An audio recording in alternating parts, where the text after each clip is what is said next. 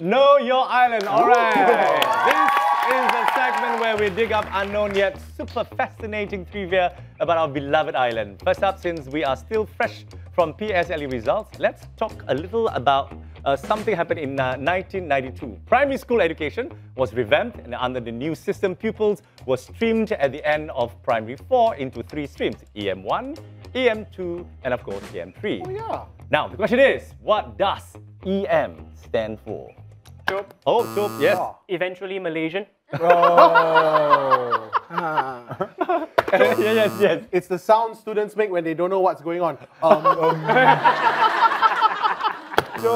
yeah. EM1 is for English major. Wow. EM2 is for English minor. And EM3 is for English mampus.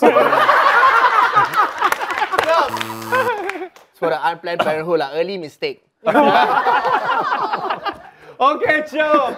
EM stands for English and Mother Tongue. Yeah. These streams comprise pupils who learn mother tongue as a first language, as a second language, and at an oral proficiency level. Really? Lucky I didn't learn my mother's tongue. She won't stop talking.